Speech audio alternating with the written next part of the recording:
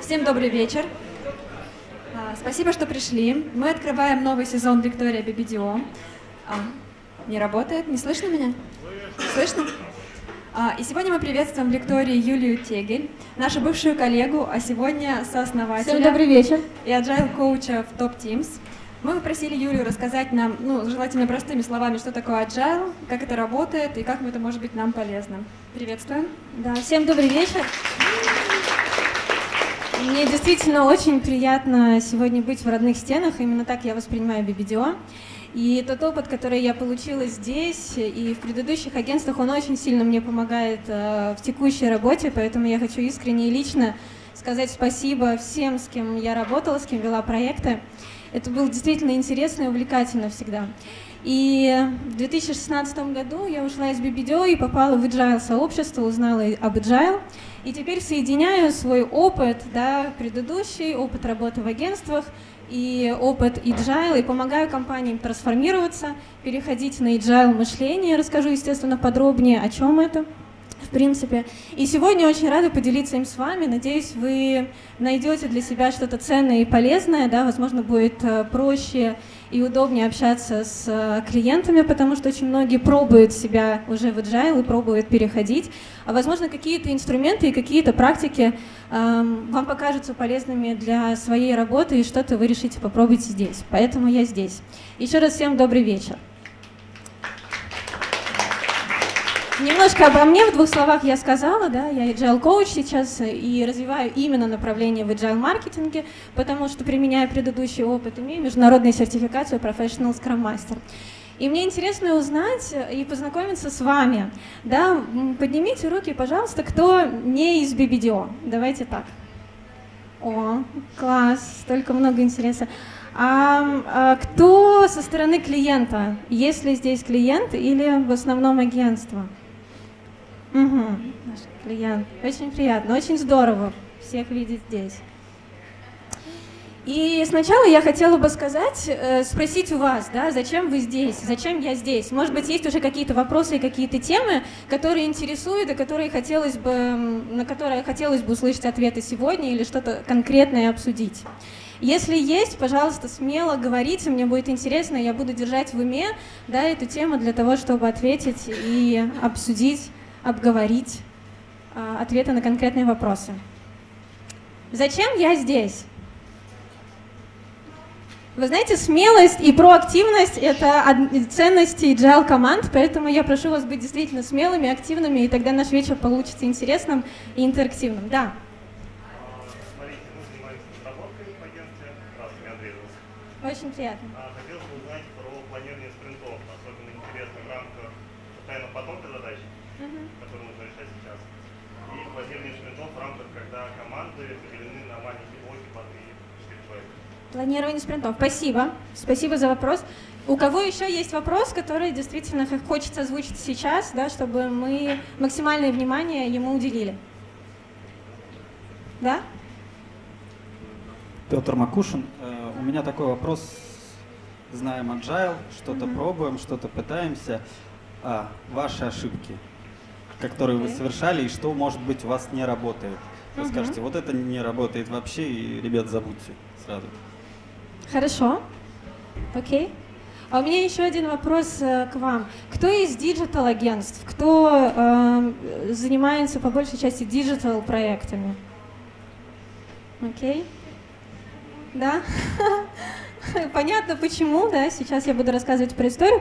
Хорошо, если вопросов больше нет, давайте пойдем, если будут возникать вопросы по, по ходу презентации, пожалуйста, задавайте. Мне бы хотелось, чтобы сегодняшний вечер был такой максимально интерактивным и больше похож не на лекцию, наверное, да, а на беседу эм, между нами. Итак, давайте начнем сначала, да, история возникновения Agile для тех, кто, возможно, не так близко знаком. Agile появился, ну, естественно, в США в 2001 году, когда 17 разработчиков, профессионалов, экспертов, и, и экспертов именно в разработке IT-проектов собрались где-то высоко в горах для того, чтобы обсудить насущные проблемы, по сути, того времени. Да? Все, очень многие начали чувствовать то, что проблемы и какие-то боли начинают совпадать и все больше и больше давить. Какие именно? Во-первых, проекты постоянно выходили за рамки дедлайнов. Во-вторых, за рамки бюджетов. Э, в-третьих, чувствовалось, что нет достойного обмена опытом, и все время кажется, что э, надо, воспри... надо изобретать колесо. Опять же, очень многие говорили, что не было прозрачности в проектах, да, и заказчики не понимали, а что делают в это время команды, команды не понимали, что, делают, что делали заказчики и так далее, и так далее, и все это накипело. Поэтому в те самые четыре дня, когда 17 э, великих IT-умов встретились в горах, чтобы отдохнуть и заодно а, поговорить о наболевшем, появился так называемый Agile манифест. А, это четыре ценности и 12 принципов, в которых как раз э, суть agile да, и заключается.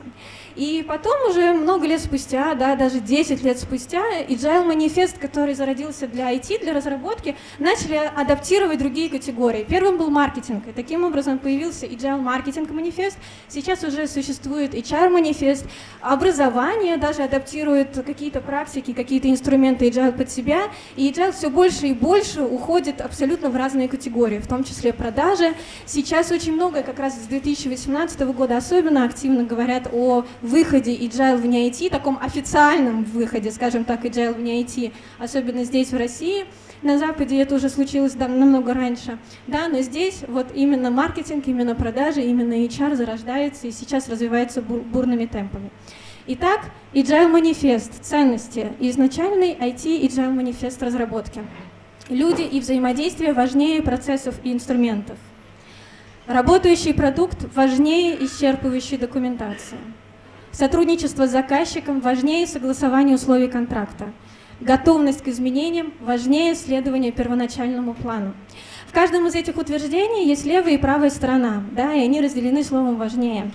И мы говорим о том, что а, не отменяя важность правой стороны, мы признаем то, что левая сторона важнее. И если объединить все эти утверждения да, в какую-то одну мысль, то она заключается в следующем, что agile — это о разработке максимальной ценности для клиента. Потому что тогда, когда мы своему клиенту готовы, постоянно готовы к изменениям да, в меняющемся мире, для него это ценно. Когда мы готовы сотрудничать с заказчиком, когда мы действительно понимаем, что для него важно получить что-то работающий продукт, а не просто много написанной документации, много бумаг, да, и понимаем, что люди и взаимодействие — личное общение, эффективная коммуникация намного важнее исчерпывающих процессов и изменений, а, мы можем создать ценность для клиента, то есть что-то полезное, что действительно удовлетворит, удовлетворит его потребности, закроет боли или воплотит какую-то мечту. Как же адаптировал адаптировали маркетологи манифест под свою категорию, под нашу категорию? Здесь появилось уже семь, семь ценностей. Да? Проверка гипотез и реальные данные важнее мнения условностей. Мы с вами, как никто, знаем о том, насколько субъективен может быть маркетинг. Кажется, что все знают, какого размера должен быть логотип, да, каким шрифтом написать, куда подвинуть, какой цвет поставить. И первой ценностью маркетологи выделяют как раз то, что именно реальные данные и проверка реальных гипотез с реальными клиентами, даже не на фокус-группах, она действительно важнее просто мнений и условностей субъективизма. Регулярные мини-эксперименты важнее редких, крупных, рискованных активностей. Часто мы разрабатывали раньше, я помню из своего опыта, когда мы большое количество времени и ресурсов тратили на то, чтобы разрабатывать большую компанию, которую потом запустим в различных каналах коммуникации, сразу на территории, на большой территории. Да? И маркетологи сказали, что давайте попробуем сделать так, чтобы сначала тестировать что-то маленькое, что-то произведем, протестируем, получим обратную связь, и уже на основе этого будем действовать дальше. Вовлеченность и прозрачность важнее формального участия. Наверное, многие знакомы с ситуацией, когда мы над чем-то, команда над чем-то работает, да, тратит действительно и вкладывает много времени, усилий. Кто-то в это время со стороны агентства, со стороны клиента наблюдает со стороны, но в тот момент, когда нужно принять финальное решение и поставить свое «да», да, сказать «go», мы вдруг узнаем, что что-то, привет, Наташа, что что-то идет, э, что что-то не так, да, и нам нужно вдруг что-то переделывать. Вот такое формальное участие действительно не приветствуется, да, вовлеченность и прозрачность на каждом этапе работы проекта. Командная работа с фокусом на потребителя важнее статуса иерархии. Да, agile отменяет погоны. Это первое, что приходит э, на ум, да, или там второе, может быть, что приходит на ум, когда мы говорим об agile. Тогда, когда образуются кроссфункциональные команды, о погонах мы забываем. Поэтому статус иерархии как раз стоит в правой стороне этого утверждения. Постоянное общение с клиентами важнее сделанных когда-то предположений. Маркетологи и джайл-маркетологи говорят, да, у нас есть исследования, которые мы сделали когда-то раньше. У нас есть опыт, который мы уже прошли, и он может быть как положительный, так и отрицательный.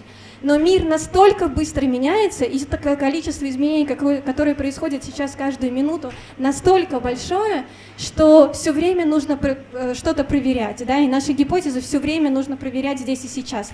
Абсолютно не факт, что что-то, что мы уже попробовали и работает, сработает сегодня или завтра. Быстрое реагирование на изменения важнее исследования первоначальному плану. Мы знаем, что когда мы начинаем работать над любым проектом, да, мы получаем бриф, естественно, договариваемся об условиях, естественно, стараемся предусмотреть максимум да, того, что может случиться во время, но все-таки, опять же, может произойти все, что угодно. Внутри компании, внутри категории, в конце концов, в стране, политики и так далее. И мы должны иметь возможность, и самое главное, каждый член команды должен принимать э, вот эту парадигму да, изменений, что когда что-то меняется, мы не должны воспринимать это в штыки и говорить, нет, мы с вами о чем-то другом бы договаривались, и в брифе у нас вообще-то было написано вот так. Да, мы должны быть готовыми к изменениям. И гибкое, а не жесткое планирование. На последней конференции топ-маркетинг форум, на который я выступала, один из спикеров задал вопрос аудитории, на которой э, были представителями э, маркетинг-директора, в основном и владельцы бизнеса. Как часто вы меняете и адаптируете свой маркетинговый план, ну, например, годовой? И очень многие признались, что даже уже изменения в годовом маркетинговом плане раз в квартал да, не всегда удовлетворяют э, изменениям, которые происходят. Иногда даже приходится менять чаще. Поэтому многие маркетологи уже даже отошли от годового планирования да, и говорят, что давайте будем планировать меньшими итерациями. Да, мы знаем видение наше развития, мы знаем, в общем-то, нашу цель, но именно детальное планирование лучше делать итерационно, лучше делать на какой-то более короткий промежуток времени, времени, чем года. Принципы, да, в Agile Marketing Manifest также есть принципы, и сюда я выписала, ну, самые такие главные, которые, мне кажется, вот действительно важны. Наш самый главный приоритет – удовлетворить потребность покупателя посредством раннего и постоянного маркетинга, который решает проблемы и создает ценность. Это о том, что мы все время должны коммуницировать с нашим покупателем. Да? Не бывает так, что мы э, что-то придумали, создали какую-то компанию, потом забыли, ушли, потом спланировали через полгода что-то еще. Постоянное взаимодействие. Наша способность быстро отвечать на изменения – это наше конкурентное преимущество. Опять же, о гибкости да, мы уже поговорили. Хороший маркетинг предполагает тесное взаимодействие с бизнесом, продажами и командной разработкой продукта. Более того, сейчас, когда мы говорили в конце года, а, опять же, с директорами по маркетингу о трендах, о том, как будет развиваться маркетинг, о том, как, какая роль будет а, маркетинговых отделов в бизнесах, да, и какая роль будет, например, маркетинг-директоров в бизнесах, говорили о том, что департамент маркетинга должен стать таким локомотивом всей компании и вести за ним, и подключать другие департаменты тогда, когда это надо.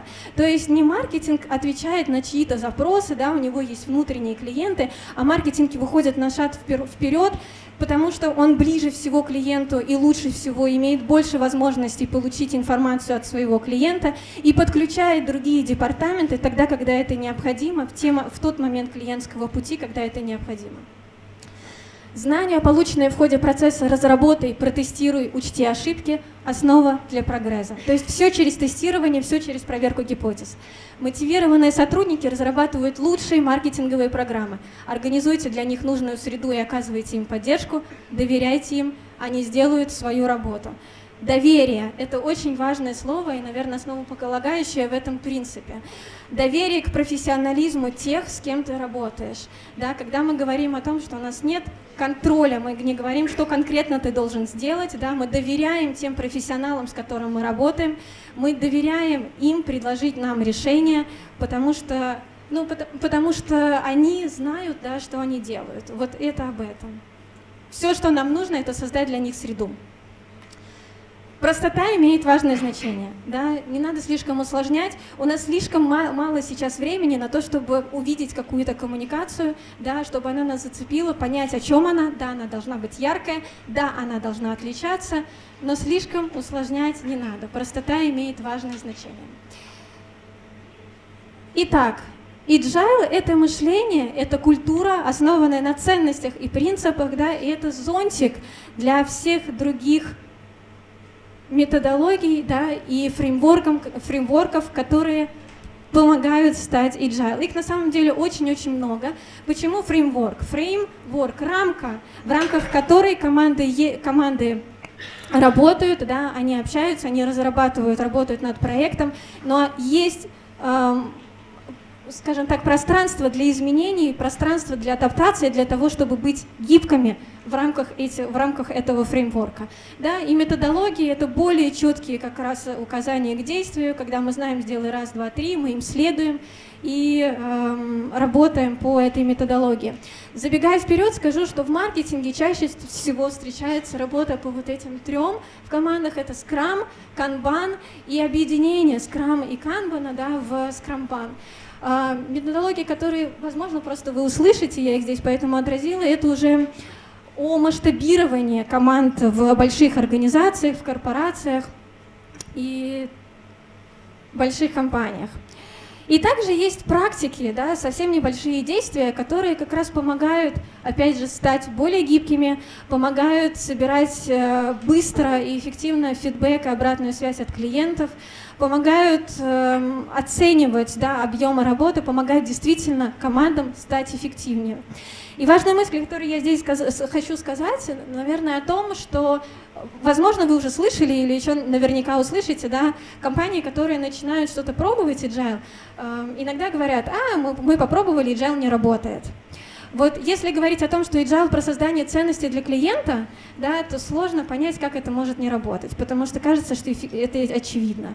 Да? Часто бывает так, что те практики, те фреймворки, методологии, которые компании попробовали, действительно что-то не получилось и что-то не сработало. Тогда нужно искать под себя, тогда нужно адаптировать, тогда нужно пробовать что-то другое. Здесь логотипы компаний, которые уже в той или иной степени попробовали да, стать agile. Конечный ли это список? Полный ли он? Нет. Наверное, это те компании, которые больше всего на слуху, и то, что я накидала, буквально будучи в agile сообществе и постоянно общаясь с представителями компаний. Кто увидел здесь своих клиентов?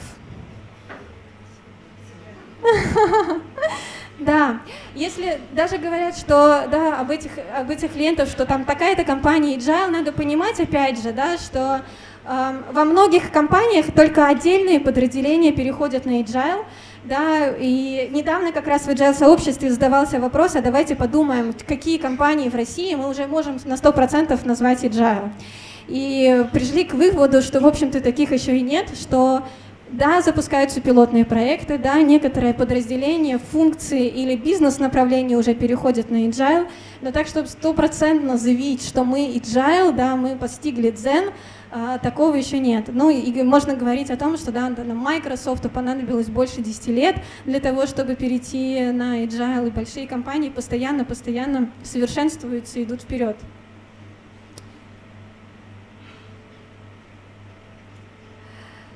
Поговорили о том, что agile, да, это о мышлении. Если говорить более конкретно, то есть если компания agile, а что внутри-то у нее происходит, да, про что это более конкретно? Ну, естественно, это про гибкость, да, очевидно, и про, про постоянную проверку гипотез. Опять же, про кроссфункциональные команды профессионалов, которые несут ценность своим клиентам, получая от них постоянно обратную связь,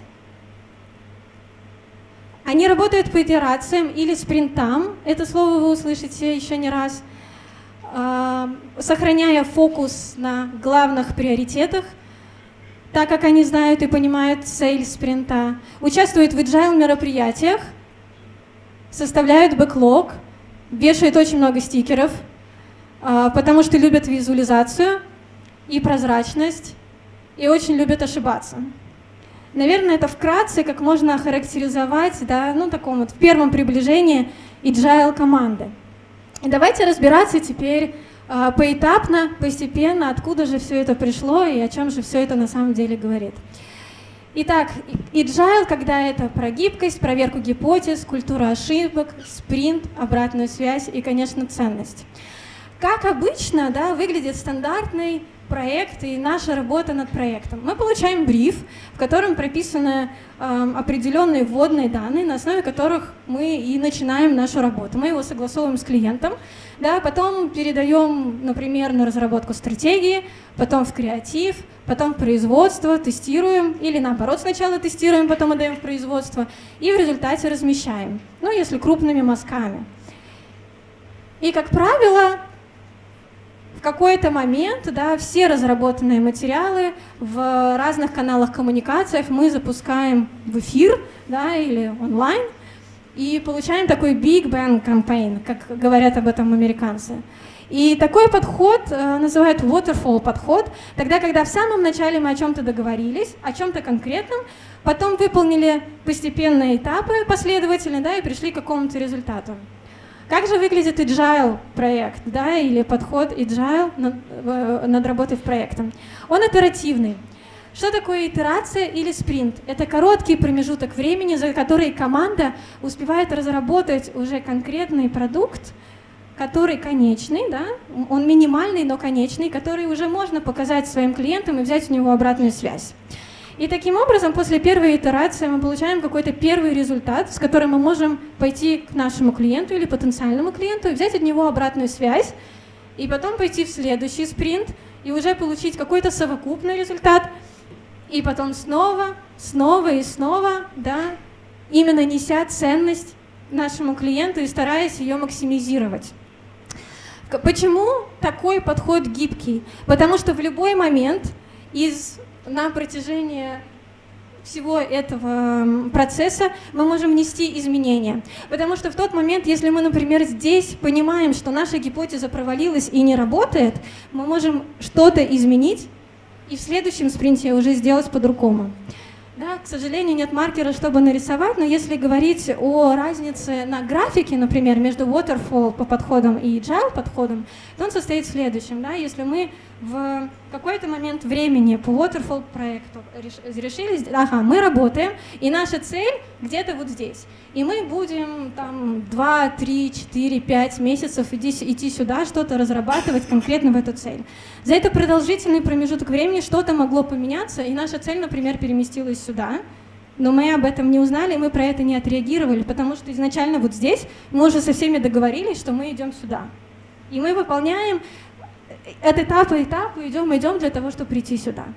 И Джайн, если мы даже здесь договорились, мы пошли, сделали один шажок, мы сделали второй шажок, и здесь мы понимаем, ага, что наша цель уже не здесь, она вот здесь, и таким образом мы можем сменить траекторию и пойти чуть-чуть в другом направлении, для того, чтобы в тот момент, когда мы готовы с нашим проектом, он нес максимальную ценность для нашего покупателя, для нашего клиента.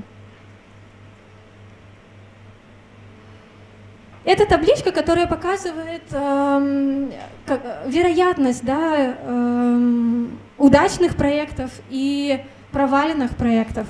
Эм, конечно, здесь оценивались IT-проекты, но я думаю, идея понятна и в том числе в маркетинговых проектах, да, и смотрели на проекты с 2013 по 2017 года. И наблюдение следующее, да, что agile проектов по сравнению с waterfall проектами именно успешных примерно в два раза больше – да, и в три раза меньше действительно проваленных проектов.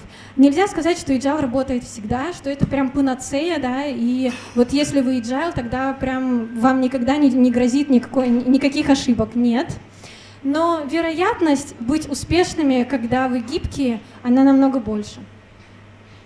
Чем еще отличается waterfall, waterfall подход да, от agile подхода? Когда мы получаем бриф и договариваемся о чем-то изначально, у нас, как правило, часто фиксированный скоп. То есть мы говорим, что нам нужно разработать, например, коммуникационную кампанию, в которой определенное количество ТВ-роликов, есть э, диджитальные, как, диджитальные составляющие, конкретные форматы, да, и что-то еще. И исходя из этого скопа мы уже оцениваем стоимость и оцениваем сроки работы над проектом. И, как правило, естественно, когда скоп меняется, да, э, должны, в принципе, меняться и стоимость, и тайминг. Зная агентство, и что мы искренне действительно стараемся быть э, максимально лояльными к нашим клиентам, да, агентства очень часто вот этим поступаются и за счет внутренних ресурсов пытаются сделать для клиента как можно больше хорошего, несмотря на то, что клиент постоянно заваливает все новыми новыми задачами, а мы их все берем и берем, да, потому что мы лояльны и стараемся этим как можно сделать, как можно больше всего сделать. А, что говорит Agile? Agile говорит о том, что фиксированными да, или точками от, отправления являются как раз стоимость и тайминг. И зная бюджет и тайминг, команда сама можно, может решить, а каким образом, как она пойдет к поставленной цели, какие форматы она будет использовать, какие решения она придумает, да? что конкретно мы можем предпринять для того, чтобы достичь поставленную цель, исходя из того, что мы знаем примерный бюджет, и исходя из того, что мы знаем, когда, когда примерно да, мы должны запуститься. Говоря о бюджетах, даже Agile опять же говорит, да, вроде как это фиксированная история, но лучше закладывать дельту там в плюс-минус 20, в 20% для того, чтобы как раз сохранять эту гибкость. И вы изначально, так как это культура, да, вы договариваетесь с клиентом на берегу о том, что давайте будем в таком подходе работать. И поэтому и одна сторона, и вторая сторона готовы для того, чтобы в какой-то момент что-то изменится. А Конечно. Да.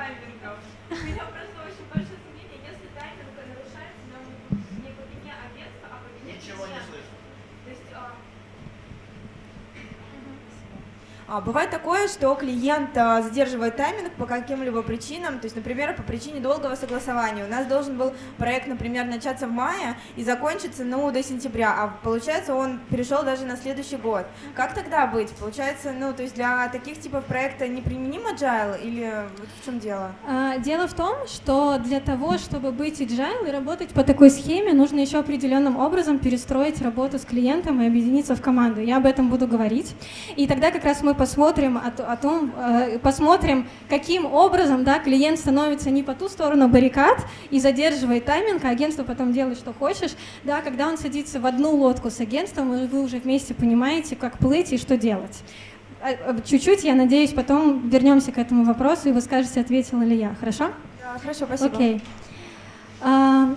Итак, вот исходя из э, предыдущих, да, и вот из предыдущих подходов, из предыдущих схем, мы с вами поняли, да, откуда берется проверка гипотез, спринты, обратная связь и культура ошибок. Культура ошибок очень важна в Agile. Почему? Потому что философия Agile, она в принципе о том, не о том, что э, о том, э, кто не ошибается, тот не пьет шампанского.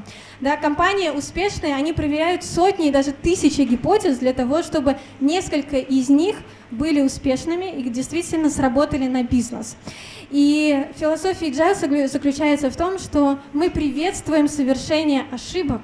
Главное не совершать одну и ту же ошибку дважды.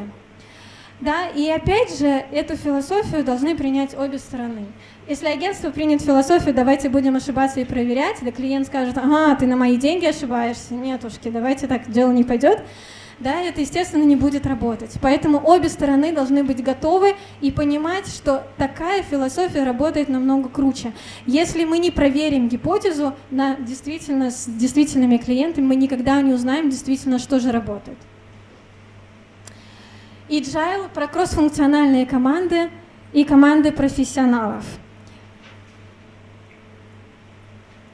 Мы не будем заходить ни на какой сайт, но мне хотелось бы, чтобы самые смелые ответили на вопрос, что меня не устраивает в текущей работе внутри, в агентстве и с клиентом. Если кто-то, кто готов поделиться прямо наболевшим. Или у нас такая прям сахарная жизнь? Кто готов поделиться? Вот что прям бесит, что не устраивает? Да. А, ну, у нас есть, соответственно, смета на проект, и бывает, что а, клиент просит сделать больше правок внести. Соответственно, после этого мы выставляем увеличение, ему доп-кост. Увеличение скопа. Вот, мы ему выставляем доп-кост, а клиент ну, отказывается, как бы, соответственно, платить, и тут уже возникают конфликтные ситуации, то есть мы понимаем, что мы вынуждены делать, а, вносить эти правки за свой, ну, бюджет агентства, потому что, ну, в противном случае клиент может совсем разорвать с нами договор, ну и как бы и начнутся так далее всякие неприятные. Больше моменты. объем за, за те же самые ресурсы, которые изначально договаривались с агентством. Окей, класс, спасибо. Кто еще готов сказать, вот прям что реально не устраивает? Ага. Та же самая ситуация, только в миниатюре. Я фрилансер. Та же самая ситуация, только в миниатюре. Я фрилансер, достаточно давно работаю, всегда прописываю э, промежуточные этапы, количество правок и так далее. А, и в начале прошлого лета я начал работать со своим старым знакомым, он стал моим клиентом, и мы до сих пор не можем закрыть проект. Несмотря на то, что э, ну, как бы все абсолютно по вот этим майлстоунам, которые мы прописали, mm-hmm. человек, пытаясь воздействовать на какие-то дружеские чувства, ну, mm-hmm. с моей стороны okay. это выглядит как просто провокация, с его, наверное, он огорчен. Окей, okay. да, очень знакомо. Кто-то еще хочет поделиться? Какие сложности, с чем вы сталкиваетесь каждый день? Сложности внутри. А, либо коллеги работают четко по процедуре, условно Процедура? говоря, да, и говорят, ты должен подписать здесь, здесь, здесь, потом приходи ко мне. Либо наоборот, коллеги начинают работать а, по договоренности. Условно говоря, мы Вась-Вась, угу. договорились, и только так, и другого обходного пути никак нет. Угу. Окей, да, спасибо. Кто-то еще хочет поделиться? Да. А, здравствуйте, Анна. Меня зовут. А, я буду говорить про прошлый опыт. Мне кажется, я работала по схеме Agile, угу. но не знала этого. Да, это, кстати, тоже есть люди, которые так говорят. Это очень здорово. Меня с подвохом такой ответ. А, а, бриф менялся каждый, каждые два дня, и а, получается, что текущая работа сделана зря, но для клиента вроде как он с чем-то сверяется, для него постоянно что-то изменяется. Uh-huh. Вот, и, наверное, он был доволен, но мы не очень. Излишняя гибкость, да? Гибкость, которая вредит. Окей. Хорошо. И, конечно, когда мы чем-то недовольны, да, или что-то внутри, или с другой стороны назревает, происходит вот так, что очень неприятно для всех. И как все-таки плыть и быть в одной лодке, да, как э, быть с клиентом, как быть внутри с одной лодкой, потому что что же там кривить душой, внутри тоже не всегда бывает гладко. Да, и давайте сначала э, поговорим о том, а кого вообще можно посадить в эту лодку, да, как и делают, э, организуют ли команды на стороне клиентов. Да, то есть даже маркетинговые команды могут быть кроссфункциональными, если в них входит, ну, условно, бренд-менеджер, да, если маркетинг-менеджер, например, кто-то, кто занимается трейдом, R&D, э, представители digital департамента и так далее, и так далее. То есть если набирается кроссфункциональная команда внутри маркетинга, она тоже существует, даже без внешних связей. Э, как это может быть еще устроено, когда клиент – бренд-менеджер, например, да, человек, который ответственный за проект, ведет проект, э, садится в одну лодку с агентством, и они вместе плывут да, и также существует вариант, когда фрилансеры, например, да, или мы объединяем людей, которые вообще сидят в разных офисах, но при этом занимаются абсолютно из разных э, сфер. Это может быть и медийное агентство, и креативное агентство, да, и BTL-агентство. И по представителю из каждого агентства объединяются для того, чтобы быть кроссфункциональной командой и работать над одним проектом. А, давайте рассмотрим, я, наверное, буду в большей степени говорить сегодня о втором варианте, да, когда у нас есть представитель со, со стороны клиента и агентства, и как это может жить и работать вместе. Итак, у нас есть кроссфункциональная команда. Да? Кто в агентстве может войти в кроссфункциональную команду? Все это кто? Ну, да, конкретно креатив, да, это арт-директор, копирайтер, это продюсер. Если вы знаете, что у вас проект условно на грани, и, например, нужно очень много э, каких-то юридических тонкостей учитывать, то даже юрист здесь может быть. Да, естественно, это может быть дизайнер и так далее, и так далее. В команде, как правило, 3-9 человек, не больше, для того, чтобы сохранять управляемость. И команда, как я уже говорила и обмолвилась, решает, как она будет выполнять работу. Да? Команда — это действительно те люди, которые выполняют и работают над проектом. Кто же еще у них есть? Есть Scrum Master. Да? Я говорила, что э, часто в маркетинге, э, в продажах э, используют фреймворк Scrum, схватка с английского. И у команды есть Scrum Master. Это человек, который максимально старается сделать работу команды максимально эффективной. Он в коучинговом формате помогает быть мотивированной командой, помогает искать и устранять какие-либо препятствия, которые стоят на э, пути работы команды, помогает выполнять все те мероприятия, да, которые предусмотрены этим фреймворком, фасилитирует их. Фасилитирует это, делает максимально эффективными, дает высказаться всем, дает возможность принять совместное решение такое, которое не просто потом люди скажут, а, ну да, вы там что-то договорились, ну и делайте сами, а я пошел. Да, именно чтобы оно выполнялось всеми вместе, мотивировано э, вперед. И Э, не сам себя выдвигает, э, он может быть избранным, этот человек, да, и, как правило, это человек, которому больше всего доверяет команда. Такой лидер-слуга, он, с одной стороны, лидер, да, потому что он ведет команду, с другой стороны, слуга, потому что помогает команде максимально быть эффективным, потому что помогает э, команде устранить какие-то препятствия, которые стоят на пути. И вот должность скромастера, ну не должность, как раз не должность, а роль скром. Почему не должность, а роль в э, agile? Потому что должность ты должен, роль я сам наберу на себя ответственность. В этом очень большая разница. Да? Роль скромастера может потом передаваться в команде. То есть это не то, что один раз тебя на всю жизнь выбрали там, или команда а, высказала тебе доверие, и ты пожизненно скроммастер. Нет, э, человек может меняться и маркетинг owner. В классическом Scrum, который пришел тоже, естественно, из разработки, эта роль называется owner, владелец продукта. Да, маркетологи используют свой термин маркетинг owner. Это человек, который отвечает за так называемый маркетинг бэклог, список задач, которые должны быть выполнены как раз в ходе работы над проектом.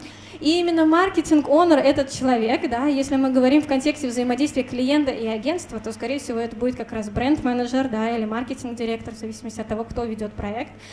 Он создает этот бэклог, этот список задач, он его приоритизирует, оставляя приоритетно наверху бэклога самые приоритетные задачи он оценивает эти задачи с точки зрения ресурсов, которые нужно затратить, да, и в бэклоге всегда самые приоритетные задачи наверху, еще раз, менее приоритетные, более большие объемные задачи внизу этого бэклога. И все эти люди вместе называются скрам-командой. Кто есть еще? Есть внутренние клиенты, да, естественно, есть бизнес – а, есть люди, заинтересованные в том, чтобы проект был успешным и которые влияют внутри бизнеса а, на ход работы проекта. И, естественно, есть внешние клиенты, которым мы как раз, для которых мы и делаем этот проект, мы разрабатываем к ним коммуникацию, у которых мы как раз и спрашиваем обратную связь. Да, вот такая вот схема как раз взаимодействия команды. И именно в этот момент э, клиент и агентство садятся в одну лодку. Именно в этот момент клиент начинает осознавать, и так как он ответственный за количество задач, он понимает на самом деле на планировании мероприятия, о котором мы тоже поговорим, о том, что если я дополняю вот эту конкретную задачу в бэклог, то я должен понимать, что команда может отказаться от ее выполнения в этот конкретный спринт, или я должен убрать какую-то задачу и заменить нее на ту, которую я хочу добавить прямо сейчас. именно клиент понимает то, что объем работы, который может выполнить команда, он на самом деле не резиновый, действительно, да. И agile команды, они пропагандируют то, что нужно работать строго в рабочее время и отдыхать в время отдыха, потому что счастливые, мотивированные люди и люди, которые готовы вкладываться и вовлекаться, это счастливые люди. А счастье наше не только в офисной работе, у нас есть хобби, семья и другие приоритеты, которым мы действительно отдаем время. Поэтому выделяем те задачи, которые берем на ближайший спринт, да, если мы хотим что-то добавить, мы должны что-то убрать, или если команда скажет, окей, в этот раз да, мы берем, то тогда маркетинг-онору повезло. Но команда действительно имеет право отказаться взять, ту или иную задачу, отказаться взять за нее ответственность в этот конкретный спринт, и тогда она будет переведена на следующий спринт. Спринт в маркетинге чаще всего я встречаю две недели, да, классически это промежуток времени от одной, от одной недели до месяца, до четырех недель. Как правило, это 2-3 недели для маркетинговых продажных команд. И мало того, чтобы соблюдать и быть вот в этих ролях, да, еще очень важно э, пропагандировать и транслировать ценности командные, да, о которых, опять же, мы договариваемся на берегу, что для того, чтобы мы были наиболее эффективны, вот наши ценности, они такие, это ценности скрам. Фокус на результат. Мы не копаемся в процессе. Каждый раз, когда мы думаем, а что мы будем делать, мы понимаем, а приведет ли конкретно это наше действие к нашему результату. Мы отталкиваемся от того результата, который мы хотим получить. Это ответственность. Да, в agile Agile не про назначение ответственных, да, я сегодня, ага, у нас есть такая-то задача, и ее будет делать Вася. И потом, Вася, я проверю, сделал ты ее и как это ее сделал. Нет. Agile это про то, что у нас есть с вами, ребята, вот такая вот задача, и кто хочет взять на нее ответственность? Я. Agile это про открытость. Очень важно, чтобы быть эффективными, да, идти вперед быстро – быть открытыми и открыто говорить о тех проблемах, которые возникают, о тех идеях, которые появляются, независимо от того, раньше ты был джуниор-менеджером, например, или джуниор-стратегом, да, и работаешь ли ты вместе с действительно синер и опытными сотрудниками. Очень важно иметь смелость говорить, высказывать свои идеи, высказывать свои мнения, высказывать то, что не устраивает, что хотелось бы изменить для того, чтобы сделать нашу совместную работу более эффективной. Безусловно, уважение в команде и смелость опять же, смелость. Чаще всего мы встречаемся с тем, да, что смелость и открытость становятся такими ну, барьерами, что ли, к быстрой трансформации в компании людей. Так как мы говорим о том, что как раз agile — это трансформация мышления, да, изменение мышления, то смелость и открытость — это те ценности, которые, вот трудности, с которыми мы чаще всего встречаемся, когда приходим с agile. И опять же, команда профессионалов. У меня был опыт, э, когда мы эм, понимали, что изначально в команде, которую мы собираемся организовать, эм, нет действительно высокого класса профессионалов. Мы понимали о том, что да, требуется большое времени, много времени для того, чтобы обучить сотрудников и для того, чтобы они смогли быстро реагировать, быстро принимать решения, быстро идти вперед. Но все-таки мы попробовались и запустились. Сказать, что это был очень удачный опыт, я не могу. Действительно, очень много времени потребовалось на то, чтобы параллельно обучать. Да. Каким образом тогда, спросите вы, э, обучаются ну, э, джуниор-сотрудники да, или те, кто приходят э, заново? Во-первых, есть разного проекта, разного, разного, разные проекты разного уровня. Для более сложных действительно проектов, которые мы изначально понимаем, мы берем в команду изначально более синер и опытных сотрудников, там, где даже человек с малым опытом может быть профессионалом, да, он берет этот проект. И, естественно, в Agile обязательно есть наставничество, естественно, обязательно есть менторство, да, передача опыта и, опять же, коучинговый подход, который помогает людям быстро расти. Это очень важно.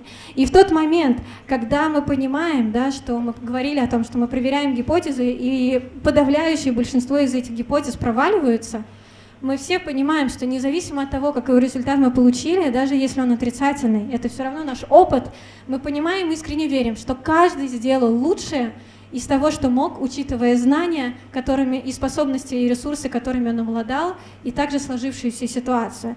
То есть в Agile мы не ищем виноватых, мы не пытаемся понять реально, а кто что сделал, почему так, Вася, ты там не доделал, то все. Мы смотрим в будущее и говорим о том, а что конкретно мы хотим изменить в будущем, в следующем нашем проекте или в следующей итерации, для того, чтобы в следующий раз это взлетело. И почему еще кроссфункциональные команды? А, здесь я сделала скриншот да, а, процесса работы, который вот эм, зарисовала одно из агентств. И от получения брифа до реального результата, по-моему, они делали это упражнение на примере а, разработки e-mail рассылок. Да, сначала они получают бриф, он попадает к э, project менеджеру он его смотрит, э, согласовывает какие-то изменения или задает вопросы клиенту, потом случается киков, креативы и так далее, и так далее. Этот процесс нам очень сильно знаком.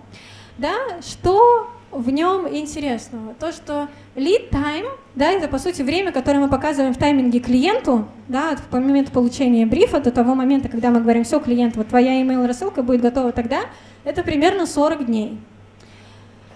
Реальное время, э, за которое работает э, агентство да, над этим брифом, 15.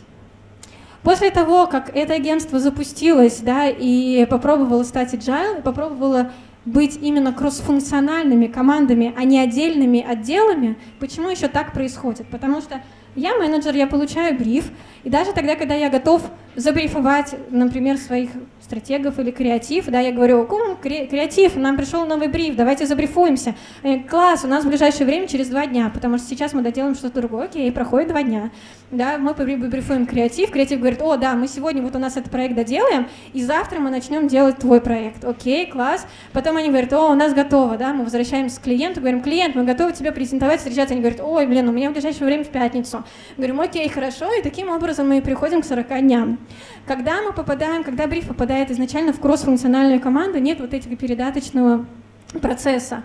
Да? Вся команда изначально участвует в брифинге, вся команда сразу генерит, э, э генерит какие-то идеи, и таким образом и происходит сокращение вот этих промежутков времени примерно вот так.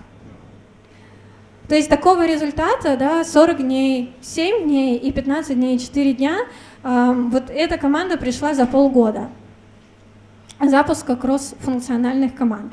Что еще важно сказать, когда мы говорим о кроссфункциональных командах, что каждый сотрудник, да, а, раньше была, еще в конце даже прошлого года мы говорили о том, что сотрудники и люди должны быть T-shaped. Когда у меня есть компетенции, какие-то прям такие хорошие компетенции в каком-то одном направлении, да, и я примерно представляю, как происходит условно работа над чем-то другим. Ну, то есть, если я там арт-директор, например, я уж точно знаю, как вот, э, как придумать классную идею, да, там отрисовать, сделать какие-то вижулы для нее, и я примерно понимаю, как там потом продюсер будет искать мне фотографов или там режиссеров и организовывать процесс э, производства. Сейчас уже говорят, что этого очень мало, что T-shaped это вообще вчерашний век, и надо быть M-shaped. То есть у меня должны быть действительно глубокие компетенции не в одном каком-то направлении, а в нескольких. И таким образом мы сможем максимально эффективно коммуницировать и взаимодействовать внутри. Тогда, когда люди внутри будут взаимозаменяемые, и когда если вдруг кто-то выпал из процесса, или у нас что-то навалилось, и не хватает одного человека в команде, одного копирайтера, например, кто-то может взять и подхватить, и что-то написать. Да, мы понимаем, что это не будет на том самом высочайшем уровне, на котором бы это сделал суперопытный и профессиональный копирайтер, но, по крайней мере, у нас точно не будет стоять работа, и мы будем приближаться к результату. И это очень важное отличие как раз кроссфункциональных команд. И здесь абсолютно не приветствуется философия, когда говорят, да, креатив, о, ну это икамский креатив попер, ну да, угу. вот. Вот этого в Agile нет. Мы говорим о том, что любой человек может предложить свои идеи, любой человек может высказаться, да, и что-то сказать, но действительно последнее решение за профессионалом, потому что есть доверие к профессионализму. Да, мы доверяем копирайтеру, который скажет, ага, я выслушал вас всех, я понял, я принял, я услышал, я подумал, и мое финальное решение все-таки такое, я профессионал в этом. Итак, это про agile в разрезе кроссфункциональных команд да, и команд, команды профессионалов.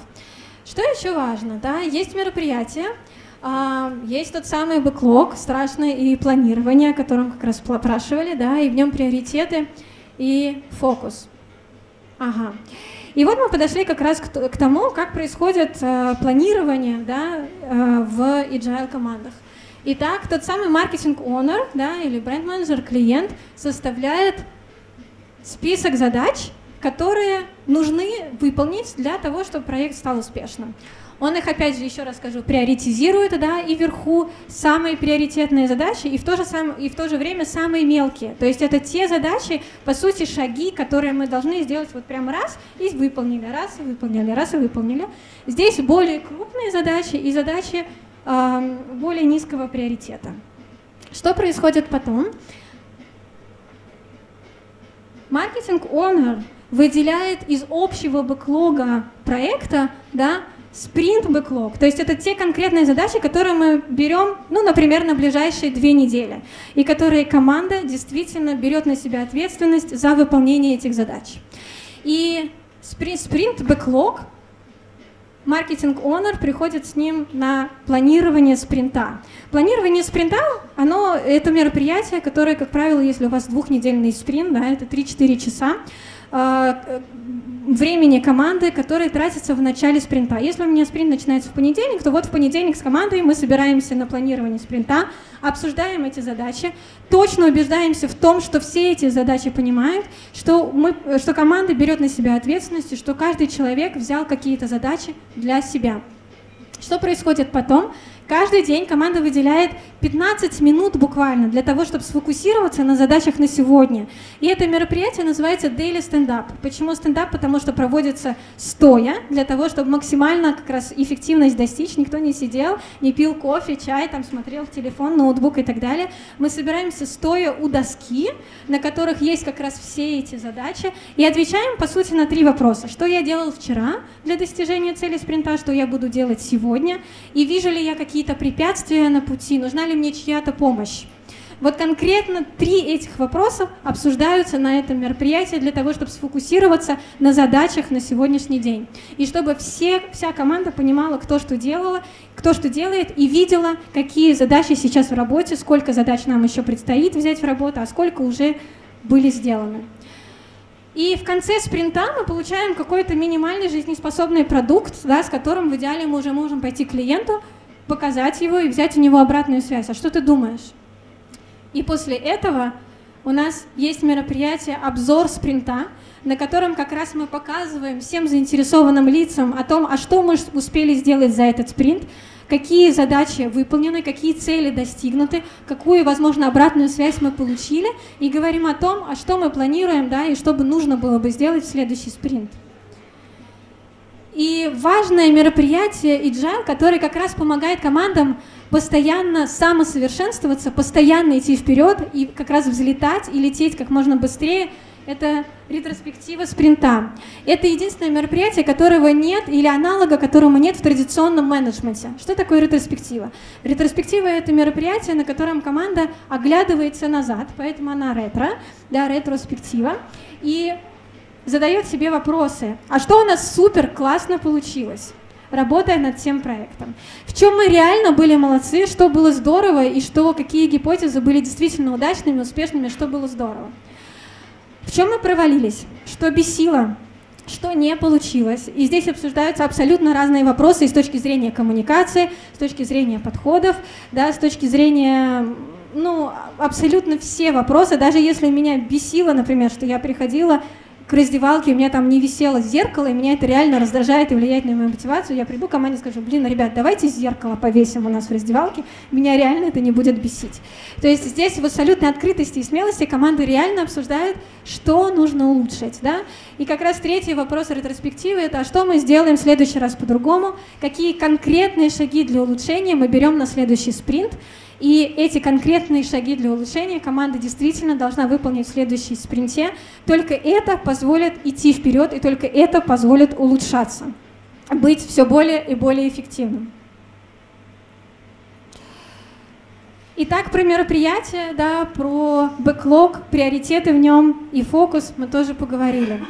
И откуда же берутся те самые стикеры? И вообще говорят, что Agile придумали для компании типа 3M, которые все эти стикеры разрабатывают для того, чтобы они хорошо жили. Визуализацию и прозрачность. Да?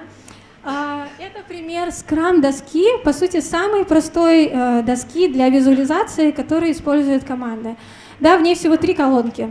Это задачи, которые надо сделать, да, задачи из того самого бэклога попадают сюда, надо сделать. В тот момент, когда на дейли стендапах мы подходим к этой доске, мы говорим, ага, вот эту задачу я сегодня беру в работу, я перевешиваю ее в колонку в работе, да, и завтра, по идее, в идеале, я должна подойти к этому доске и сказать, ага, вчера я работала вот на этой задаче, я ее выполнила, я ее перевешиваю сюда, она дана. Таким образом, эта э, доска позволяет сделать работу максимально прозрачной для всех, и для клиента, и для агентства. Ой, как страшно, страшно, клиент увидит, чем мы занимаемся, и когда мы что-то не делаем, он тоже увидит, да, да, это действительно вызов, да, это действительно прозрачность, это вызов agile для очень многих э, людей, в принципе, да, и для команд, которые участвуют. Но в то же время это и для агентства, да, скажешь, клиент, посмотри, сколько мы сделали, смотри, сколько действительно у нас сейчас в работе, и смотри, с какой скоростью мы двигаемся. И забегая вперед, скажу, что эта доска может быть электронной, да, и в таком, таким образом на самом деле отменяются, ну или не кэшируется важность статусов, которые мы заполняем каждый понедельник, приходя в офис, мы отписываем статусы, да, потом как-то мне мой клиент позвонил и сказал, Юль, ты знаешь, вы можете статусы это не заполнять, мы все равно их не открываем. Ну класс, да, где же вовлеченность? Дорогой клиент, мне очень нужна твоя вовлеченность, правда, ты прям мне очень нужен. И в любой момент он может зайти на эту доску и увидеть, а что сейчас конкретно в работе, да, где еще его нужно вовлечение, какие задачи вообще-то висят у него на ответственности, да, и за какие задачи он ответственный в том числе. Вот так выглядят доски со стикерами. Да, мы всегда рекомендуем с самого начала сначала пробовать стикеры, потому что на самом деле это очень классное чувство, когда ты подходишь и лично рукой перевешиваешь свой стикер в дан. Ты прям думаешь, блин, я молодец, класс. А потом команды выглядят, вот, видят вот это все, да, весь тот объем, который они сделали за, спри за спринт, и это является самой большой мотивацией на самом деле, потому что когда ты понимаешь, что мы действительно достигли результата, это очень супер. Вы знаете, очень грустно смотреть на... Даже в командах топ-менеджера, иногда, когда мы проводим большие ретроспективы, вот генеральные директора, да, директора по маркетингу, финансам, коммерческие директора выходят эм, э, к доске, да, или мы спрашиваем и говорим, скажите, а что у вас за последний год реально круто получилось, в чем ты молодец? И здесь мы видим такой потупивший взгляд, он говорит, да я вообще-то не, да, да это все они, а я вообще не очень-то.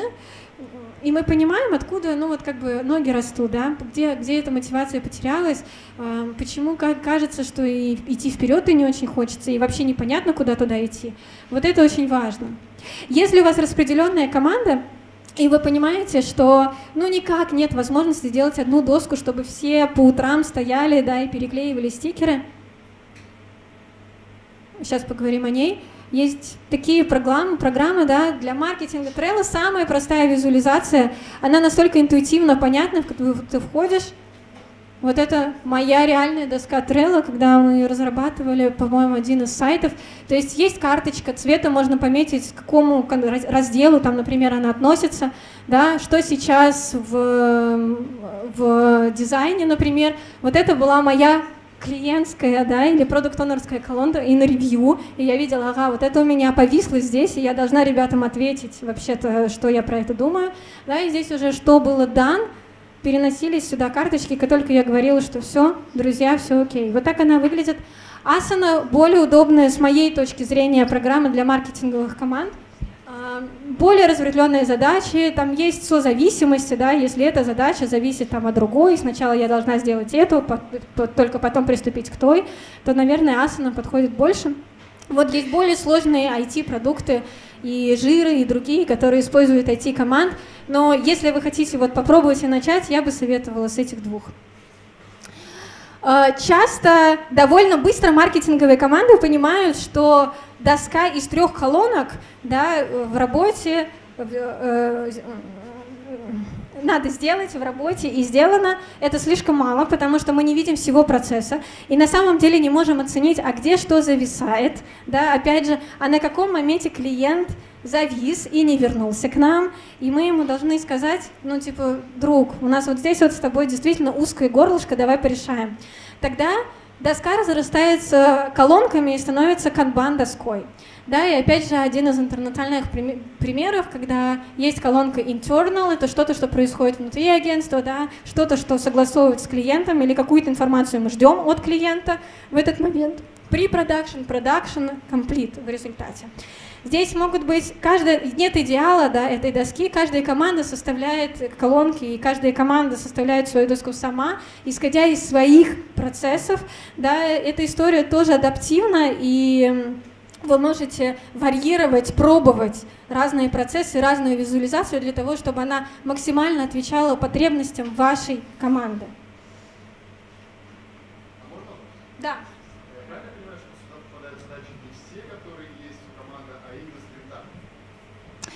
Сюда попадают, э, смотря как вам лучше э, визуализировать. Да? Если мы говорим о трех колонках, то вот здесь задача спринта, Э, часто, например, я люблю в своем Trello делать просто еще одну колонку, да, в которой я пишу, например, задачи на три месяца.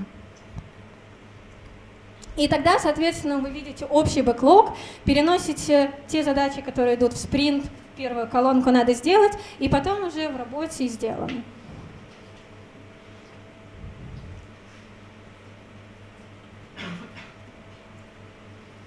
Ну, на самом деле, это вся, э, наверное, такая информация действительно крупными, крупными мазками, которые я хотела поделиться с точки зрения инструментов и agile. О чем это вообще, да?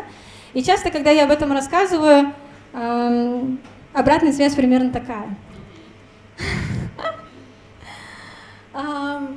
Это реально работает, и люди, которые пробовали, говорят, что это можно использовать. Это проверено. Не только там, на Западе, где какие-то совсем другие живут, но и здесь, в России.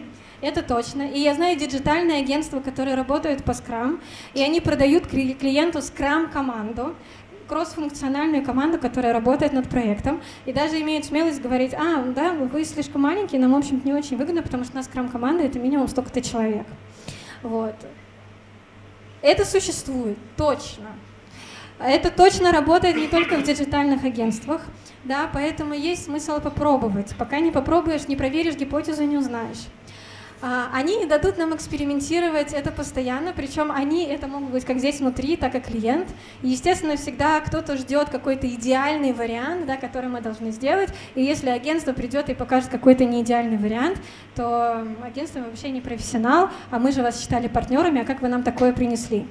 Вот agile не об этом, и, конечно, изначально, да, это не, не работает так, когда вы, ага, мы э, стали agile и принесли что-то клиенту, а клиент об этом вообще не знает. Да, как бы я это делала обычно, и как я говорю, попробуйте выбрать своего самого любимого клиента, у которого действительно есть доверительные, максимально доверительные отношения. Придите к нему и скажите, а давай попробуем, проверим гипотезу, а вдруг наша с тобой работа действительно улучшится? И давай мы с тобой через полгода, у нас будет право с тобой вместе сесть, сделать ретроспективу и понять, а вообще это для нас работает и не, не работает. Если не работает, мы с тобой прям здесь и сейчас решим, блин, не работаем, мы возвращаемся обратно и работаем с тобой как раньше. А вдруг это будет круче? А вдруг у нас все-таки успешных проектов, да, и нашего настроения, нашей мотивации в два раза поднимется по сравнению. Мы же видели статистику. Ну и вообще, один хорошо проведенный эксперимент, да, лучше, чем тысячи мнений экспертов. Поэтому, если у вас есть проекты или потребность, да, в которых вы действительно готовы попробовать, я прям очень вас приглашаю это сделать. Лучше всего, как правило, начинают как раз с проектов нового бизнеса, естественно, с диджитальных проектов, потому что Agile пришел из IT, и digital-агентства, и digital-проекты маркетинговые, они очень близки э, к IT-проектам. Ну а дальше можно быть гибкими, масштабировать, адаптировать под себя, да, и даже другие какие-то проекты, другие коммуникационные материалы разрабатывать, исходя из Agile подхода. Ну и последнее, что я хочу сказать, что вообще Agile — это про счастье, и часто, когда мы запускаем пилотные команды, мы наблюдаем действительно, как люди меняются. Потому что тогда, когда появляются ценности, тогда, когда появляется уважение, открытость, смелость, когда появляется свободное время для того, чтобы пойти домой, в семью, да, и свои хобби, тогда появляется счастье. И даже мы видим, как люди, к которым мы приходим, и они все носят черное и серое в основном, через несколько месяцев, месяцев через три, становятся цветными, улыбающимися, совсем другими, очень шумными, да, потому что появляется много идей, которые все время обсуждаются, которые все время генерятся и так далее, и так далее. Поэтому agile — это про счастье. So be agile. Спасибо вам большое. Если есть какие-то вопросы, задавайте. Да. Спасибо большое за лекцию. Меня зовут Роман. Э, Очень приятно. Два вопроса. Э, и они оба про то, что не всегда получается предугадывать хорошо и планировать хорошо, когда есть там какой-то счетчик, который говорит, вот эта задача займет 6 часов. А эта задача 2. Вот мы на день сегодня наберем вот столько, потому что у нас показал счетчик вот на 8 дней, дней, о, часов и плюс там перерыв на кофе. А, но сущности имеют такую тенденцию множиться, и вот иногда стикер, который ты перенес, перенес в раздел а, в работе, не делается за день, что с ним делать обратно? Или наоборот, тот стикер, который висел, надо сделать, потом оказалось, что в нем целое древо под задач, которые одним человеком не решаются. Отличный вопрос, вопрос, да, спасибо за спасибо. него. А, что происходит, когда стикер действительно зависает э, в колонке в работе? Давайте вернемся на эту доску. А, каждый день, например, мы приходим к этой колонке, да, и видим, что, ага, стикер Васи, Вани завис, и он вообще не двигается. Да, и команда задает вопрос на этом мероприятии, смотри, у тебя здесь висит стикер уже третий день, а в чем, в чем проблема? Да? Что нужно, чем мы можем тебе помочь, чем мы можем тебе помочь для того, чтобы этот стикер все-таки перешел сделано. И здесь есть несколько вариантов развития событий. Да? Ваня говорит, да нет, я разберусь, все нормально, вот просто мне не хватило времени, прямо сегодня все сделаю. команда говорит, ну класс, здорово. Вот. Если, он, если команда завтра приходит и стикер перевешивается действительно сделано, то все хорошо. Если он остается здесь, да, то мы говорим, блин, Вась, ну ты вчера нам обещала, и все равно не сделала. Давай мы тебе все-таки поможем, делись. И здесь у команды возникает мысль о том, что, может быть, действительно эта задача слишком большая для того, чтобы быть одним шагом. Да? То есть мы говорили, что задача одного спринта — это задача одного шага на эту неделю.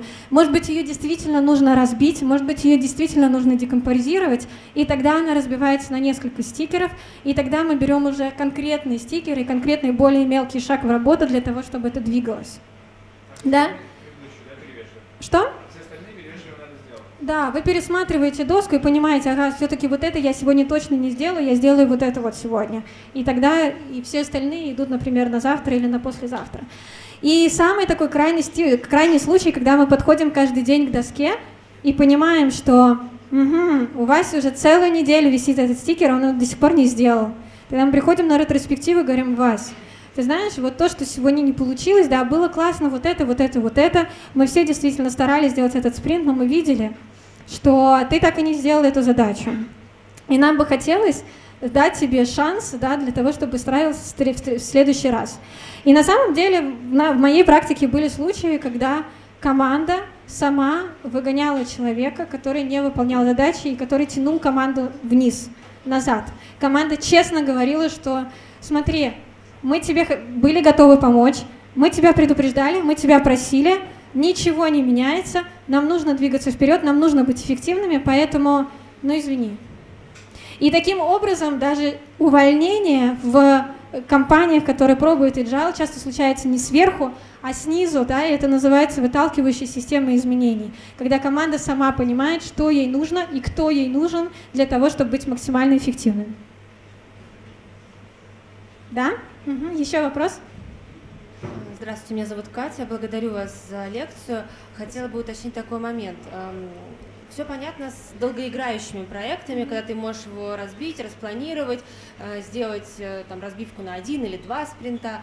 Но что делать, эм, например, как у меня в работе бывает, у нас бывают там долгоиграющие проекты, компет, да, а бывают э, задачки-минутки, когда клиент приходит и говорит, Катя, асап, надо, и таких проектов в день может насыпаться неожиданно, там, от 10 до 20 и больше. Что делать в таких случаях? Да, так как клиент становится в нашей лодке, и клиент несет ответственность за список задач, за бэклог, ты ему говоришь, я все понимаю, я понимаю, что нужно SAP, вот у нас в работе сейчас такие-то задачи. Вот, например, эту задачу и эту задачу мы можем взять SAP без э, устранения тех, которые уже в работе. Вот все остальное решай сам. Что для тебя приоритетнее? То, что мы уже взяли в работу, или то, что на тебя накинулось. И это ответственность клиента. Да? И, естественно, очень важно, чтобы изначально клиент тоже понимал, да, что вы сейчас работаете по, по, по такой схеме и ее принимал.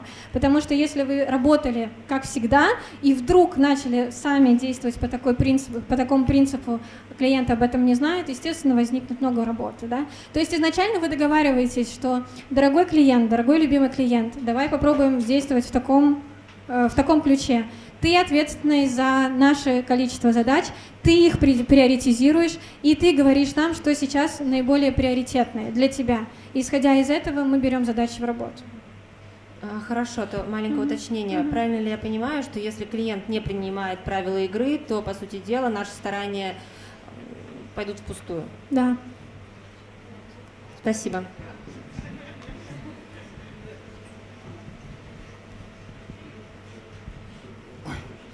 Спасибо большое за лекцию. А, вот я как там руководитель в основном по классике, да, которая работал ранее, а, где на каждом этапе там по PM есть руководители, отвечающие, ответственные и так далее. Вот у меня вопрос здесь такой. Вот э, за, за общий план, за общий проект, за результат, за этапы, за изменения внутри, да, э, так далее. Вот там по поводу скрам-мастера я понял, но это такой ситуативный, я так понимаю, управленец.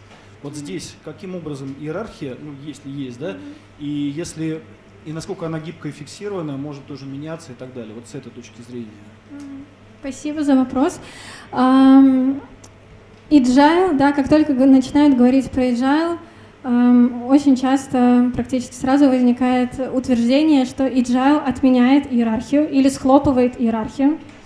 Uh, действительно, ста становится меньше слоев, это так.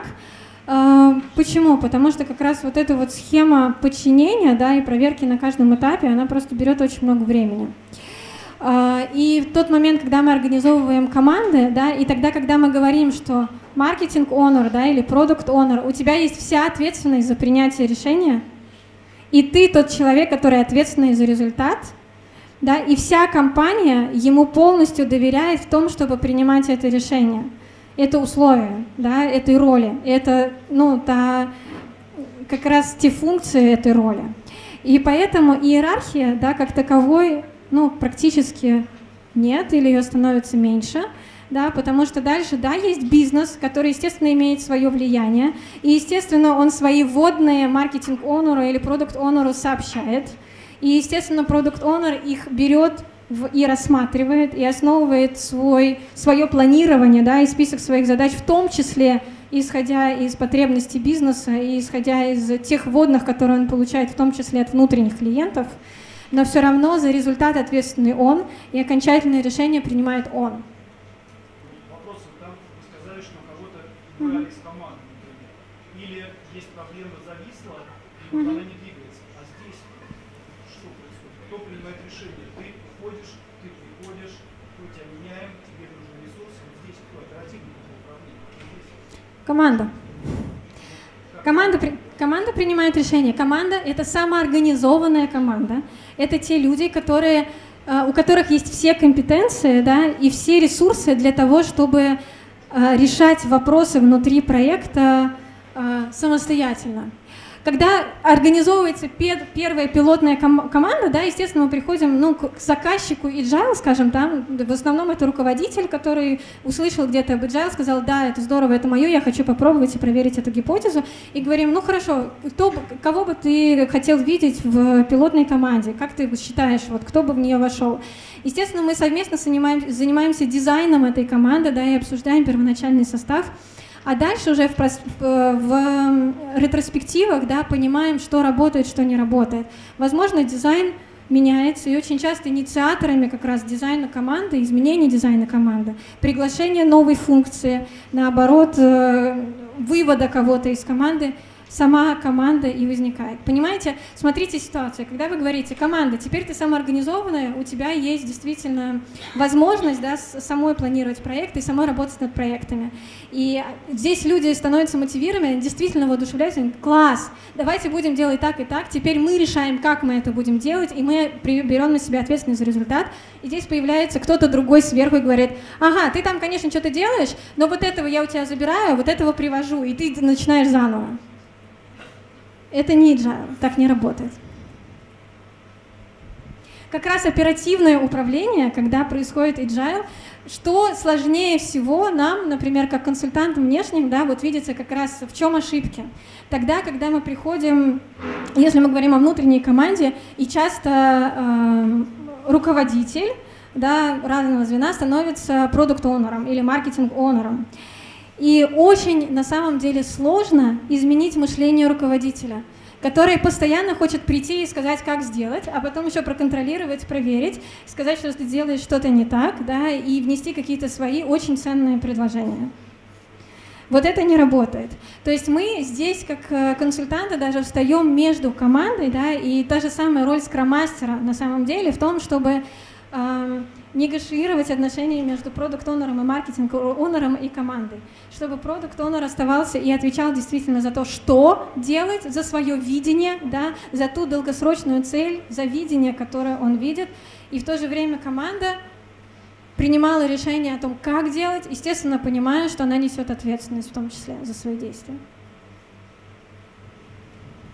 Угу. Есть ли еще вопросы? Здравствуйте, меня зовут Ульяна. У меня Очень вопрос. Приятно. Бэклог расписывается на один спринт или на, на, на весь проект сразу? Угу. У вас может быть бэклог проекта, если он долгосрочный, и потом из этого бэклога проекта вы выделяете задачи, да, самые верхние, самые приоритетные и самые мелкие, уже конкретно расписанные задачи в бэклог спринта. Еще два вопросика. Mm-hmm. Есть ли какой-то инструментарий, кроме Asana и Trello? Лично мне ни один, ни другой ну, неудобны. А, ну, во-первых, к ним есть много всяких допол- дополнений и настроек, да, которыми оптимизирует и кастомизирует команда для себя.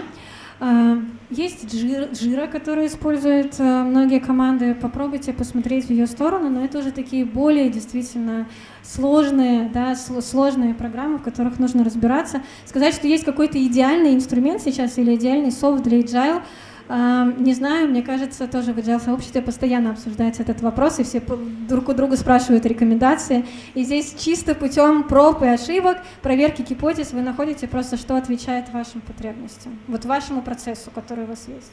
Спасибо. И последний вопрос. А когда один человек ведет несколько проектов, то есть входит в несколько команд, а, Agile что-то говорит, как приоритизировать а, ему свою нагрузку относительно каждого проекта? Agile говорит о том, что один человек должен быть в одной команде.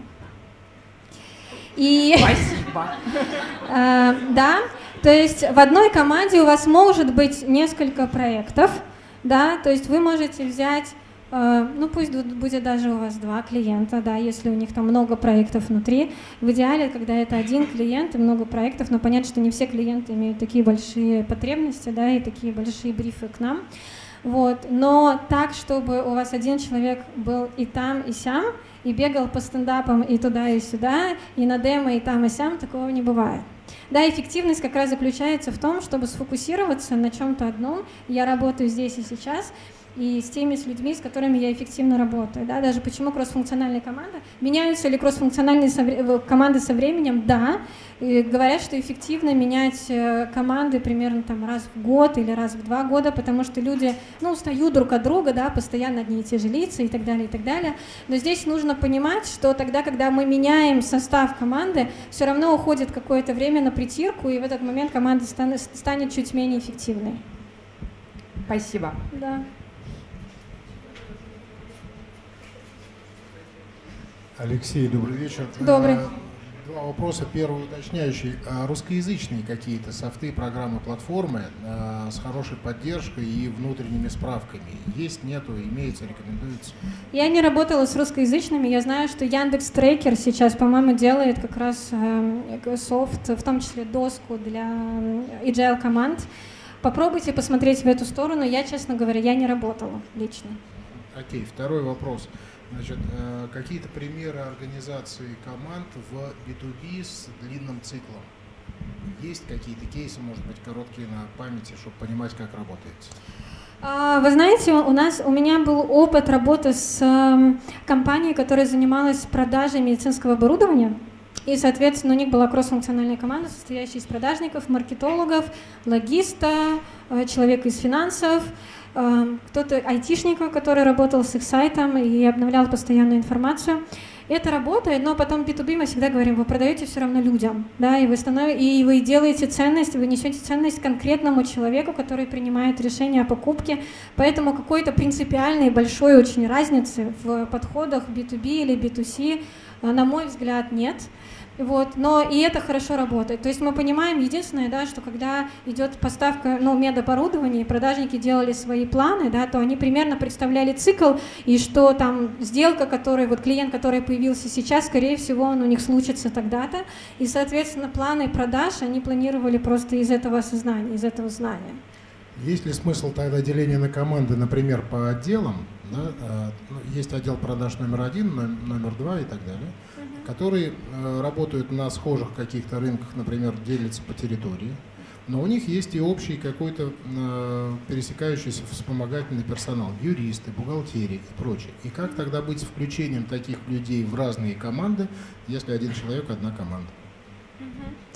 Хороший вопрос. А, когда нет возможности сделать сразу революцию в компании, да, а, я часто говорю, что не надо делать революцию, попробуйте на пилотной команде на чем-то маленьком, проверьте опять же гипотезу, да, а потом, если вы решите, да, это наше, это для нас супер работает, тогда уже масштабироваться и запускать новые команды. Я знаю об, об, об опыте как раз запуска команды продаж, которая занималась кон конкретным регионом, да, у них было несколько команд, и они использовали ресурсы из других департаментов. А, такая практика существует, и в этом случае самое главное, чтобы другие департаменты, юристы, бухгалтеры и так далее, они знали о тех изменениях, которые происходят. То есть сначала мы, как правило, устраиваем такое вот собрание, где руководитель выступает и говорит о том, что будет происходить, да, что мы запускаемся и хотим попробовать работать в новом формате, это будет вот так. И присутствуют представители абсолютно разных департаментов, они знают об этом. И в тот момент, поэтому, когда обращаются, например, продажники к юристам и говорят, мне нужен суперсрочно договор, юристы им говорят, ну, блин, у нас здесь процесс, зачем тебе этот договор? Они понимают, что он мне нужен суперсрочно, потому что я хочу максимальную ценность своему клиенту сделать и максимально быстро ему отгрузить, например. Да, это уже улучшает коммуникацию. Но основное взаимодействие, да, если вдруг что-то идет не так, во-первых, юристы приходят, и мы можем приглашать э, другие департаменты на мероприятие, которое называется обзор спринта, когда мы показываем результат. И на этом мероприятии мы можем сказать, «Ну, друзья, у нас все вот это, вот это, вот это получилось, а вот это вот не получилось, потому что у нас мы испытывали реальные трудности с вами, юристами. И нам есть с вами о чем поговорить, и давайте назначим отдельную встречу, отдельную ретроспективу, например, по нашей с вами работе, или приглашаем юриста на нашу ретроспективу и обсуждаем как раз вопросы коммуникации и взаимодействия с ним на ретро. И таким образом идет э, работа. Правильно понимаю, юрист, маркетолог, айтишник, бухгалтер, они не члены команды, они сторонние для команды исполнители. И тогда стоит вопрос, как организовываться приоритеты в их работе. Это не самая эффективная схема, да, и не, скажем так, стандартная схема Agile, когда Agile говорит именно про кроссфункциональные команды, но так бывает.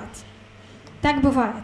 Приоритеты в их работе, э, ну, они организовывают сами, да, и здесь э, когда мы работаем как бы в таком формате, когда кто-то работает по agile, а кто-то еще waterfall, да, или по какому-то своему принципу, главное, чтобы у нас совпадало мышление. Главное, чтобы мы понимали, что э, взаимодействие намного важнее, чем какие-то процессы, да, что я могу прийти, попросить и пойди, пожалуйста, мне навстречу, что мы все вместе делаем общую цель, общее дело, ценность для нашего клиента.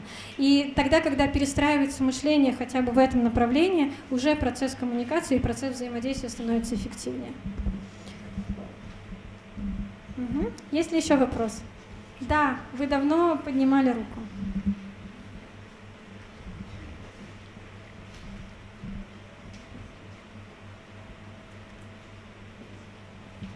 Спасибо большое за лекцию. У меня вопрос такой просто. А, вот эта система, про которую вы рассказывали, она предполагает а, итерационность.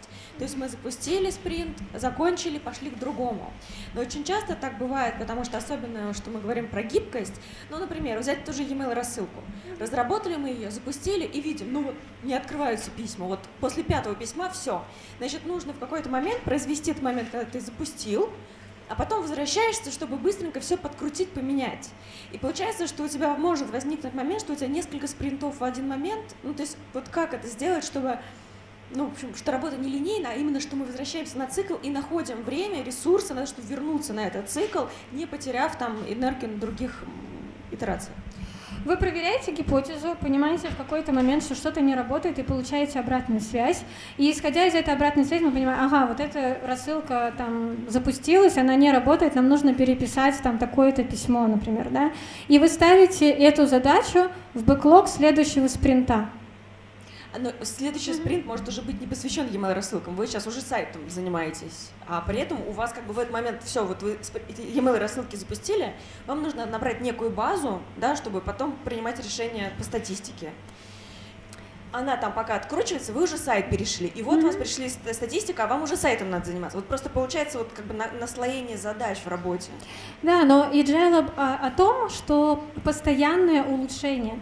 Скорее всего, мы понимаем, да, что один проект не закончится здесь и сейчас, что изначально мы понимаем, что мы получим какую-то обратную связь, и есть такая возможность, что мы пойдем на доработки. Да, и поэтому, когда мы ее получаем, для нас это не становится чем-то очень неожиданным, да, что приводит нам шок и говорит нам, ой, у нас вообще нет ресурсов для того, чтобы это заня... Э, это, этим заняться. То есть само мышление и готовность к изменениям очень важно в первую очередь. И второе, что здесь можно сказать, это то, что в agile, да, и agile-маркетологи говорят о том, что ресурсы, в том числе человеческие, нужно обязательно в команде, да, нужно обязательно планировать, исходя из того, что у тебя должен быть гэп в 20% для таких вот неожиданных задач. То есть у вас не должен быть овербукинг ресурсов, вы не должны понимать, что ваши ресурсы и так используются на 120, 140 там, или все 200 процентов, и люди ночами ночуют в офисе или работают за компьютером тоже ночь, ночью из постели, да, а именно для того, чтобы реагировать на такую вот неожиданную обратную связь, да, или для того, чтобы реагировать на какие-то новостные поводы, ну, супермаркетинг, да, это когда что-то случается в мире, мы подхватываем как бренд и развиваем эту тему, хакинг, newsjacking маркетинг. И чтобы реагировать на такого рода вещи, да, тоже нужны в том числе не только ресурсы бюджета, да, не только деньги, но и человеческие ресурсы, чтобы на них реагировать. Спасибо. Да. Добрый. Микрофон, слышно всем, нет?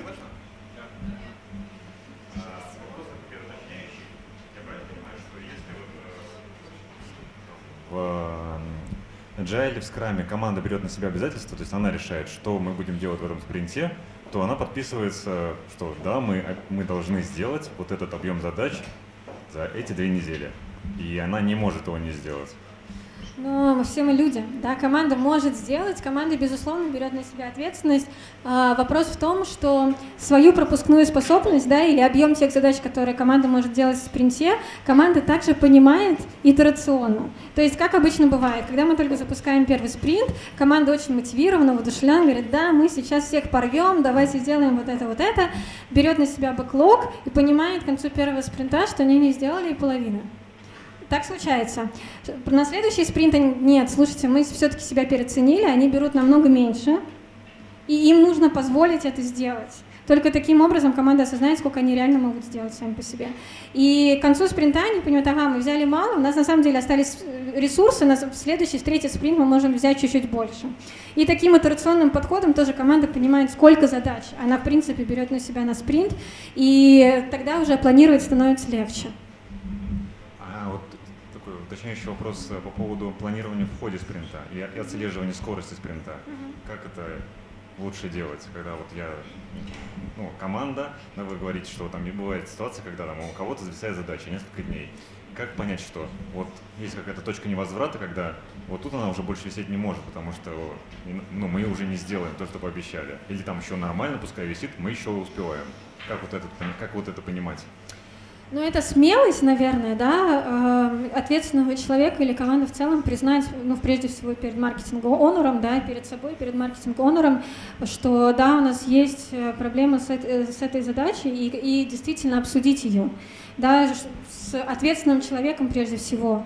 Э, как ты думаешь, у нас еще есть время на ее выполнение? Он чувствует, мне кажется, что нет, мне реально нужна помощь да, или мы понимаем, и где-то в середине спринта там, или пока спринт еще не закончился, мы тоже можем понять как команда, что мы не делаем, мы, у нас мало шансов исполнить эту задачу, да, и мы можем открыто пообщаться с маркетинг-оунером об этом, расставить приоритеты, понять от него, может быть, он нам деприоритизирует какие-то другие задачи, скажет, нет, вот это вот кровь из носа сделайте, да, ну вот с этим я смогу, там, без вот этого я смогу пожить. Или он говорит, окей, ладно, давайте мы тогда часть этой задачи, это, конечно, плохо, но мы ее перенесем на следующий спринт, но все остальное мне доделайте. Спасибо. А вот там было слово про burn down чат, да? Угу. А как вот эти штуки используются? А, вы смотрите, как, как раз э, рисуете график, да, вы можете просто вбить Burndown чат, он, чарт, он совсем не сложный с точки зрения понимания. Это те задачи, которые мы берем э, на спринт, и потом, выполняя эти задачи, каждый день мы отслеживаем наш прогресс и понимаем, что к концу спринта действительно мы выходим на ноль на все задачи данные или не выходим, сколько у нас остается. И потом эти графики мы можем сравнить с предыдущими спринтами, да, и посмотреть прогресс э, команды, как он работает. Спасибо. Спасибо вам. Спасибо за лекцию. У меня такой вопрос про обсуждение задач. Uh-huh. Вы сказали, что как раз agile на этом и строится, да, это совместное обсуждение задач, все в команде, но в IT-сфере в частности часто бывает, когда человеку, ну, человек замкнутый, ему неинтересно как раз общаться в команде, ему интересно, когда ему лично дадут задачу. А при этом он может быть очень хорошим специалистом. Как его мотивировать участвовать вот в этих совместных обсуждениях? Э, в Agile э, есть очень разные практики да, для того, чтобы даже самых замкнутых интровертов да, понять их мнение и дать им возможность высказаться. Например, на ретро бывают молчаливые ретро, когда мы не просим, вот так, будьте смелыми, скажите, что вы думаете, ответьте на мой вопрос или задайте свой, и понимаем, что человек никогда не был смелым, и сейчас он не будет. Мы раздаем просто стикеры, да, или какие-то карточки, и говорим, напиши, никто не узнает, что ты написал.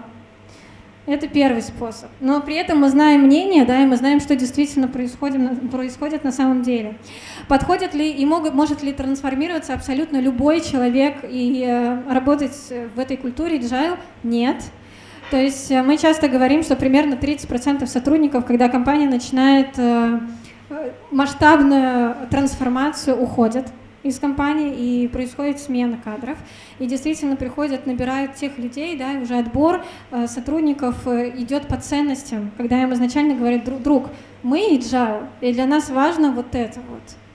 Если тебе отзывается, давай к нам. Если не отзывается, давай об этом признаемся изначально.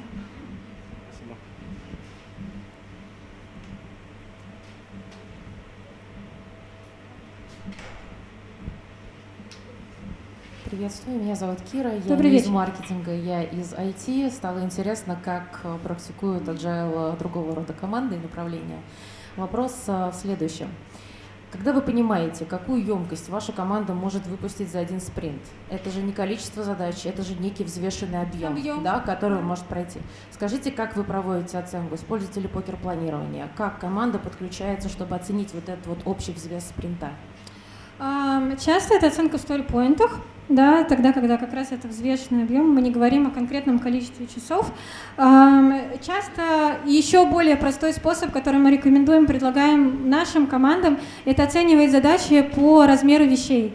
XS, S, M, L и XL, да, и в зависимости от этого, если человек, команда понимает, что вот это действительно маленькая задача, мы ее можем быстро довольно сделать, и нам нужно довольно мало ресурсов, чтобы ее выполнить, она получает объем S, да, XL это, соответственно, что-то большое, что-то, что требует ресурсов, в том числе временных, человеческих и так далее. То есть вы это используете на команду, вы собираете срез оценки каждого из участников и выбираете некую средневзвешенную оценку.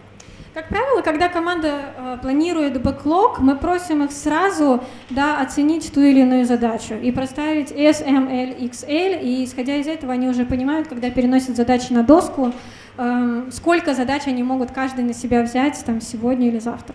Но бэклог планирует э, и он составляет задачки, он же не может в обход команды проставить эту оценку. Ну, точнее, он может это сделать, если у него есть достаточно экспертизы для этого. Но это будет оперативное управление как раз. Я думаю, что вы это должны сделать за такой-то там, ну, или у вас это должно потратить столько ресурсов. Нет, э, бэклог составляет онор, он приходит с этим бэклогом, да, он обсуждает это с командой, команда вносит какие-то правки, или они вместе обсуждают и вносят правки, после чего команда оценивает объем, да, и уже потом берет э, задачи на первый день спринта.